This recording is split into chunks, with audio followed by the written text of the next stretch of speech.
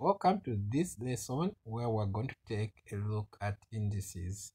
So this lesson is going to be delivered in a single video as it is a short topic but of course requires uh, practice. So uh, indices is uh, plural for index. Okay, so uh, it is about numbers that are in this form. So there's a number having a power. Okay, so such kind of numbers are called indices. Okay, the number on the bottom is called the base,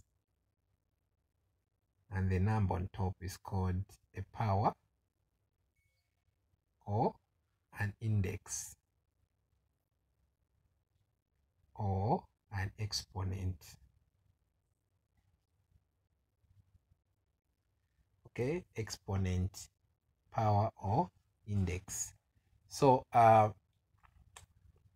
when you are in grade 9, uh, there's an exercise where they uh, they want you to know some numbers and their squares. Okay, uh, square is another word for power 2. So they want you to know 1 and 1 power 2, which is 1. They also want you to know 2 power 2, which is 4. 3 power 2 which is 9 they want you to know all the numbers from 1 up to about 25 okay? So 25 power 2 which is 625 okay? So since this is not grade 9 they uh the syllabus expects you to be knowledgeable of this. So find time to find the power 2s of all the numbers from 1 to 25 okay because uh, from time to time uh, you'll be needed to find the uh, the power 2 of a number or the square root of a number. Square root of 625 is 25. Square root of 9 is 3. Square root of 4 is 2. The square root of 1 is 1. So they want you to know some uh, numbers uh, from 1 to 625 to know their square roots as well. So the easiest way you can do that is to uh, to to uh, write numbers 1 up to 25 then you do the their twos and you master them so that it can be easy for you to solve such kind of questions and other questions of course in mathematics. Other than power 2 it is also required for you to know power 3 okay? Power 3 is also common. Uh 1 power 3 it means 1 times 1 times 1 like this which is 1 2 power 3 it means 2 times 2 times 2 so it's 2 times 2 4 times 2 8 okay then 3 power 3 it's 27 okay so they want you to know maybe about uh up to from 1 from 1 to uh let me see um, maybe 7 or actually uh even 10 1 to 10 1 power 3 2 power 3 3 power 3 4 power 3 up to 10 power 3 okay? Away from that we uh, start the lesson now. The very uh, concept that you're supposed to learn in grade 12 not these grade 9 uh, concepts. Okay? So uh, to solve uh, mathematics that has to do with powers there are some uh, properties which are called properties of uh, indices that you need to know. The first property is called the multiplication property. So multiplication property uh, says uh, if you have got a number, uh, let's say the number is p and it has a power q and then it is being multiplied by another number p again with uh, a power uh, s. Okay, so if the bases are the same then the answer is just the base okay? Then the powers you add them q plus s. So so long as there's times here add them. Note that it's not the same as this okay? Q times s. No p power q plus p power s there's no such a property. If there's plus here there's no such a property. It only works if there's times okay p power q times p power s will be p power q plus s. Okay. So uh, let's look at some uh, examples. So uh, how do we, if we have actual numbers, how do we make use of this property? So let's say you have been given 2 to the power 3 times 2 to the power 2.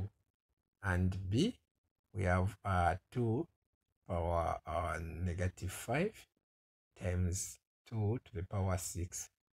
Maybe C, 2 power 0 times 2. How can you solve this one? So some people may do 2 to the power 3 is what? 2 to the power 3 is 2 times 2 times 2. 2 times 2 times 2 so 2 times 2, 8 times 2. 8 times 2, it's, sorry, 2 times 2 is 4 times 2. 4 times 2, it's 8. Okay, so 2 to the power 3 is 8. Then they do times. 2 to the power 2, 4. Then 8 times uh, 4 is 32, right? So that's the that, that's the answer here. But this method, yes, works, but sometimes it can be difficult for you okay uh, so uh, if we use multiplication property it can be easier okay like so. So since the bases are the same and there's times here so you just have to add the powers 3 plus 2 so it will be 2 3 plus 2 5 okay? We go to this one. So if we use that straightforward method can it can be difficult here because what is 2 to the power negative 5 how can you do that 2 to the power negative 5 okay it's difficult okay 2 to the power 6 you need to do a lot of multiplication for you to get the answer. Say 2 times 2 times 2 times 2 about 6 times okay? But if you use this multiplication property it's simple. You just do 2 negative 5 plus 6 okay? So it's going to be 2 negative 5 plus 6 from from our integers we learned that the answer is 1 so 2 to the power 1 is 2 how? So 2 to the power 1 it means it's just 2 because we don't have to multiply it by any uh, amount of times other than once. So it's just 2. Okay. Uh, in short, if you see a number like 2, it has an invisible 1 here. Okay. The power is 1. So it is with that knowledge that we're going to use to solve question C. So 2 to the power 0, it's going to be 2 to the power 0 times 2. This one has an invisible 1 so it's going to be 2, 0 plus 1. So it's going to be 2, 0 plus 1, 1. 2 to the power 1, 2. So that's how to use multiplication property. We go to the second property called multiplication of powers. So in multiplication of property, it says if you have a number that has a power q then the inside the brackets then outside the bracket there's another power s. These two powers can be multiplied like so. Q times s. Okay? That's the multiplication property. Let's uh, take a look at uh, at some examples. So uh, a we have uh, 2 to the power 3 in brackets power 4 uh, okay let me just say power 2 here. B it's uh, 2 to the power 1 power uh, 5 c i use a different number. We have 4 to the power 2 power 2 okay. So uh, it's simple. Uh, as long as the, there is a power and outside there is a power you multiply the power 3 times 2 it's 6 what is 2 power 6 it's 2 times 2, 4 times 2, 8 times 2, 16 times 2, uh, 32, 1, 2, 3, 4, 5. So we need to uh, do another times 2, 32 times 2, 64. So here it is 64. 2 power 6 is 64. So these are the things that with time you get used as you are solving many questions as you'll be finding 2 to the power 6 many times. So 2 to the power 6 it's 64 we got to here so it's going to be 2 1 times 5 it's 5 2 to the power 5 it's 32 okay? Uh, then we go here uh, 4 2 times 2 it's 4 4 to the power 4 it's what? If you're not sure you can just simply do 4 times 4 it's 16 times 4 is 64 64 times 4 uh, it must be 320 is it 320 356 i mean 4 times 4 16 16 times 4 32 sorry 16 times 4 is 64 16 times 4 64 64 times 4 so if you're not sure you can multiply uh, 4 times 4 16 6 carry 1 4 times 6 24 plus 1 25 so 256 not 356 i think i said 256 so it's 256 okay we go to another property called division property so division property says uh, if you have a number which has a power and it is divided with another number which has a power then the answer is just the same number which is the base then the powers will subtract like this q minus s.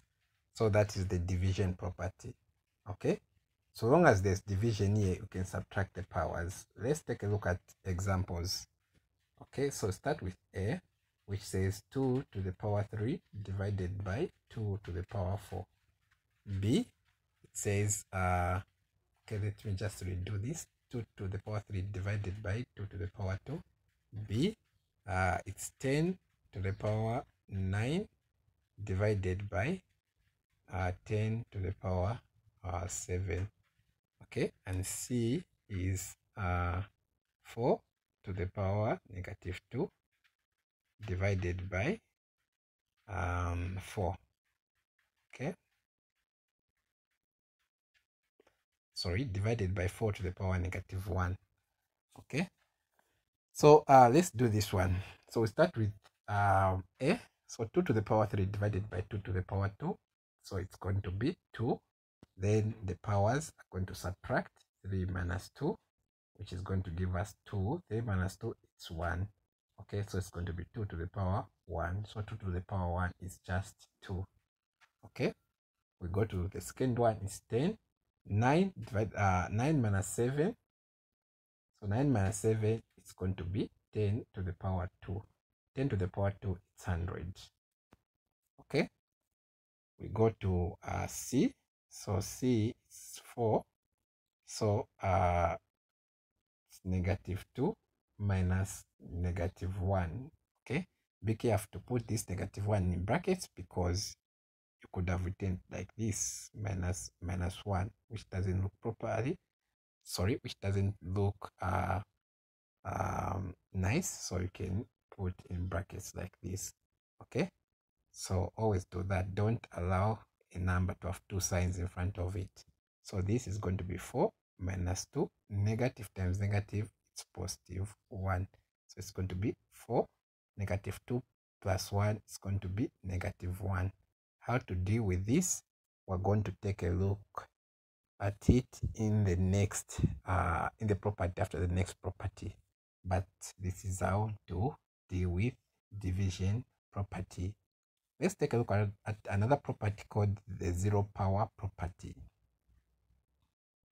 So the zero power property says any number to the power zero is one. It simply means 1 to the power 0 it's 1 2 to the power 0 it's 1 3 to the power 0 it's 1 this number i don't know what it is. The power 0 it's 1 uh, negative 1 over 4 to the power 0 it's 1 any number to the power 0 is 1 so there is no example to show for this because it's just straightforward. Any number to the power 0 is 1 okay? So go to the next property.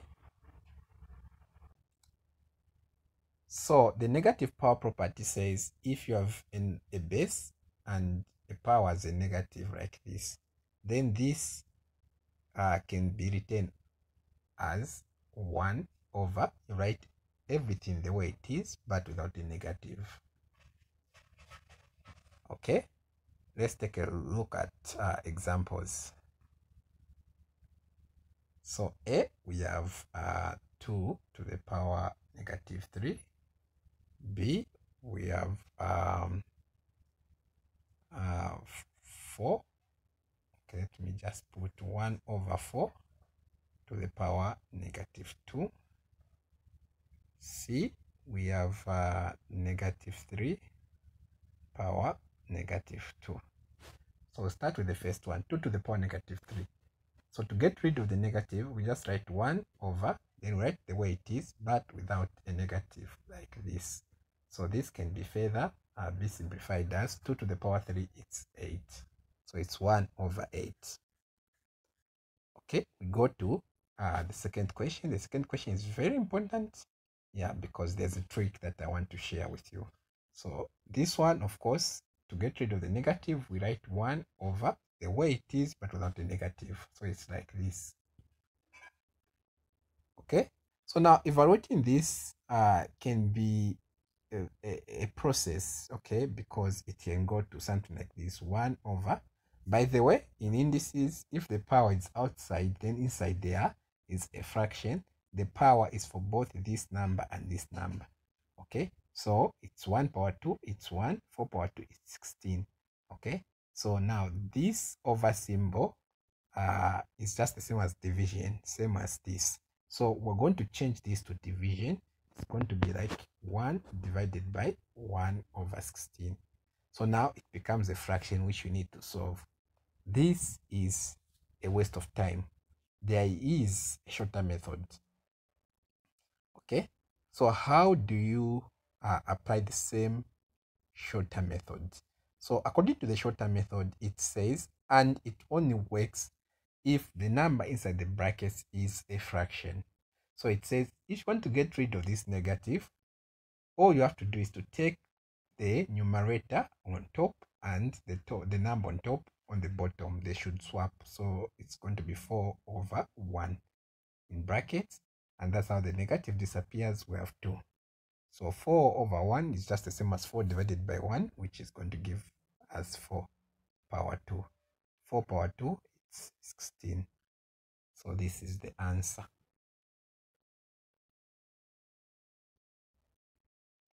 Going to question c.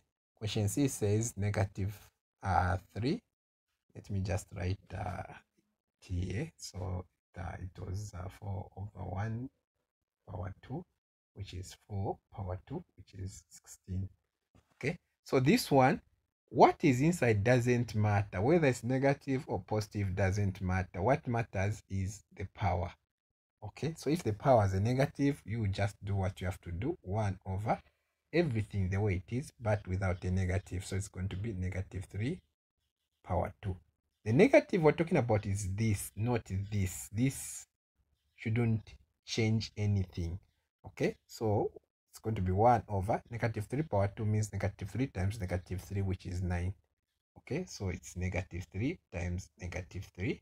Negative times negative is positive 3 times 3, it's 9.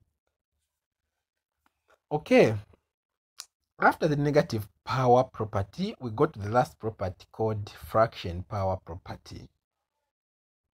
So the last property, uh, fractional power property says if you have a number or a base, then if the, the, the power is a fraction, like so, q over, okay, let me write it properly, q over s this will turn into something like this. The s will become a root like this okay?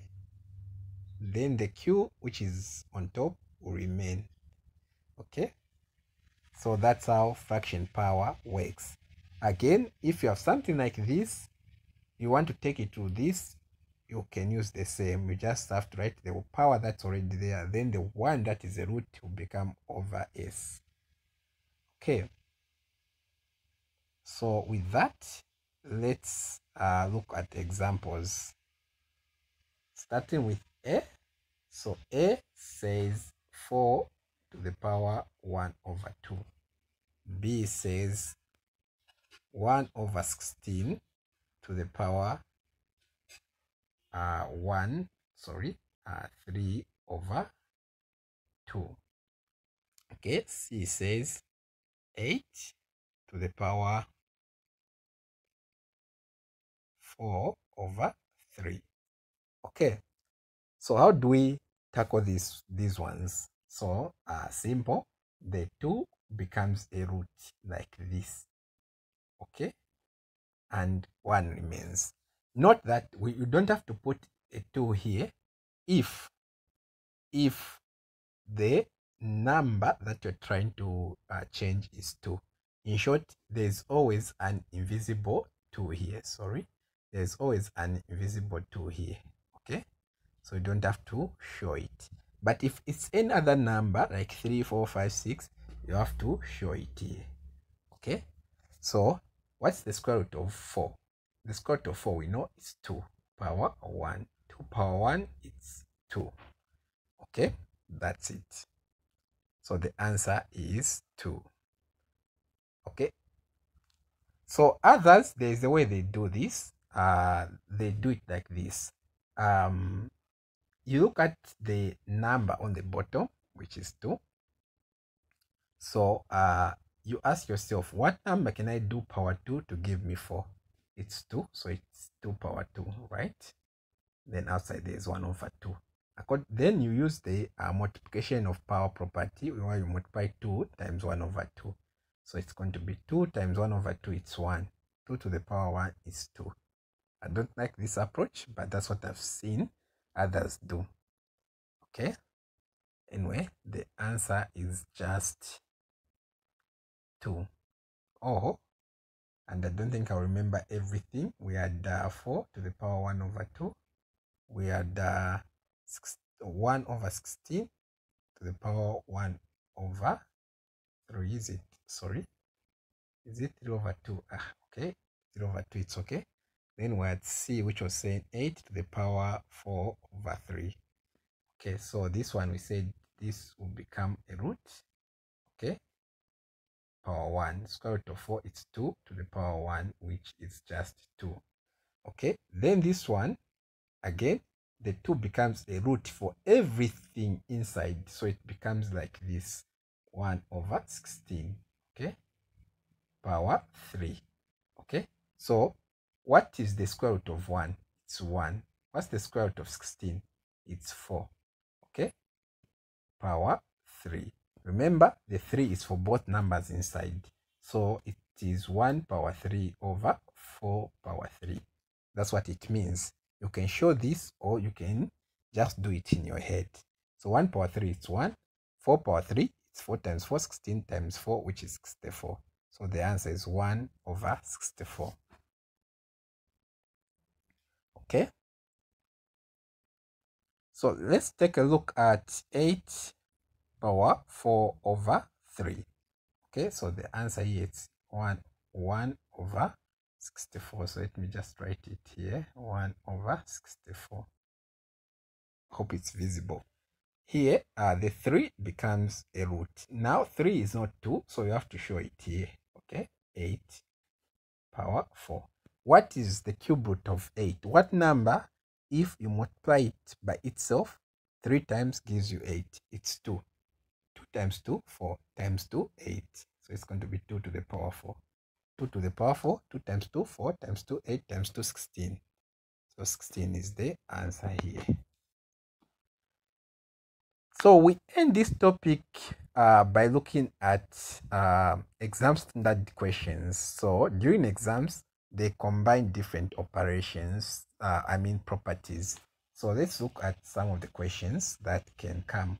So we can have um, 81 over 16 power negative 1 over 2 times or not times but plus 81 over 16 power 0 okay times 2 power 0 so first they will try to deceive you 81 over 16 81 over 16 you can clearly see that these are the same bases However, there's no multiplication here, there's no division, so you can't use any of the properties to combine these two.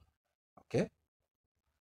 Here there's times, but this and this are not the same base. So again, you can't use any of the properties. So we have to deal with each individually. Okay. So here we can get rid of the negative by taking this up and this down so that it becomes 16 over 81 power 1 over 2 plus this side 81 over 16 it's 1 a number to the power 0 it's 1 times 2 to the power 0 it's 1 okay then again we continue. This becomes a root like this of 16 over 81 power 1 plus 1 times 1 it's 1 so what's the square root of 16 it's 4 what's the square root of 81 it's 9 okay? 9 times 9 it's 81 so we have 4 over 9 plus 1 okay? So you can add 4 over 9 plus 1 uh, 1 it's a whole number so it becomes like this then 4 over 9 of course you can do it in a different way. Again you can introduce over 1 here you manipulate whatever you're going to do the final answer is going to be like this. But the shortest answer yeah the, the shortest method is just to recognize that 1 is a whole number then you write it. Then the fraction you write it here. So long as there's plus here it works. But if there's minus or times uh, times at times it can work but uh, divide yeah even divide it can work but minus it can't work. Okay? Uh but the best uh the one that can only work if one is if this is any number it's, it's just plus uh and and maybe times but I uh, know it's just plus. Uh, i'm trying to analyze to see if uh, the other operations if there's plus divide minus times but uh, if, if, if this shortcut method can work, but plus always works. Let's take a look at another. Another says 2 to the power 3 plus 2 to the power 4 times 2 to the power negative 3. So this is the power, no calculators allowed. Again, they're trying to deceive you here. There's plus here, so there's no way you can combine this and this, but there's times here. So uh, you have to combine you can combine this and this since there's times and these are the same bases. So this is going to become 2 to the power 3 plus 2 uh, so this 4 negative 3 is going to be 4 plus negative 3 remember don't put two signs in front of a number. So 2 to the power 3 you can evaluate this one. 2 to the power 3 is 2 times 2 4 times 2 8 plus 2 uh 4 here we're going to work on the signs first to make sure that we have one sign. So positive times negative is going to be negative. So it's going to be 8 plus 2, 4 minus 3, 1. So 8 plus 2, 8 plus 2, 10. So that's how to deal with such. The last one, C 1 over 2 power 0 times uh, 4 power 1 over 2 okay so 1 over 2 power 0 anything to the power 0 it's 1 times 4 1 over 2 it become 2 becomes the square root of 4 1 yeah.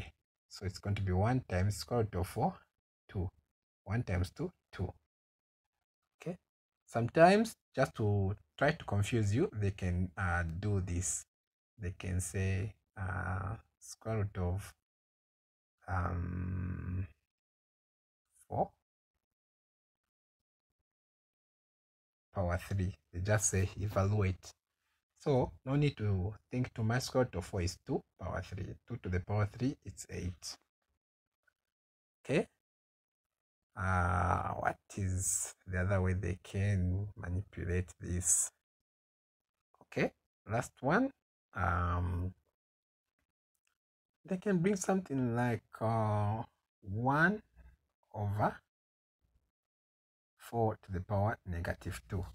1 over 4 to the power negative 2. Okay, how can you handle this? So, so long as there is 1 here, the way to handle it is simple. You can take 4 up and the negative disappears. So it will become like this. Okay, remember if you have this, uh, it also means that you can write this as 1 over 4 to the power negative 2. I know it can be confusing, but the, the, the, the principle is if an an uh, index goes on the bottom of the over symbol its sign changes okay So if it's positive, it will become negative. If it's negative, it becomes positive. And the reverse is true. If an index is on the bottom of an over sign, if it goes up, its sign, the sign of its power changes. I did not say it properly. The sign of its power changes. So if you have 1 over 3, it is just the same as 3. What's the power of 3? It's 1. So it's going to become negative 1. Okay, if you have 1 over 8, it's going to become 8. What's the power of 8? 8 or negative 1. Okay, what if you have 2 to the power 5? Okay, if you want to use this, it is 2. 5 goes on top, but you have to put it in brackets. Then the power of 5 is 1, so it will become negative 1. Okay, so in a simple way, we can say when uh, when an indi index moves uh, across the over sign, the sign of its power changes. If it's negative, it becomes positive. If it's positive, it becomes negative. So this one, it has crossed the over sign. Its sign has changed to positive 2. The reason why I wanted you to know this is uh, there are topics which depend on this property. There's a topic which we're going to do called calculus, where this is vital. This marks the end of this lesson. See you in the next lesson.